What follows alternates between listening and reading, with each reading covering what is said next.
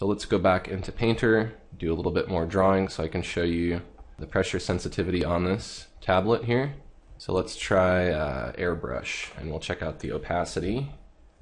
So I'm pushing down really light and now really hard. Then I can kind of get some different effects here. Let's try it with the chalk brush. So if I push down really light with the chalk, get a little bit of texture. I push down really hard, I get a lot of coverage.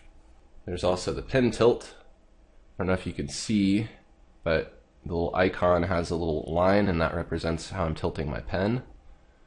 So this is usually most useful with uh, something like a pencil. So we'll just grab a pencil here and we'll see how this works.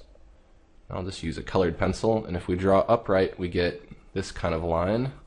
But we could also draw with the side of it and then we get something a little more like what you would get if you're working with a real colored pencil. You get kind of more of the paper grain breaks up a little bit more and if I rotate my pen back up you can see I get a thicker bolder line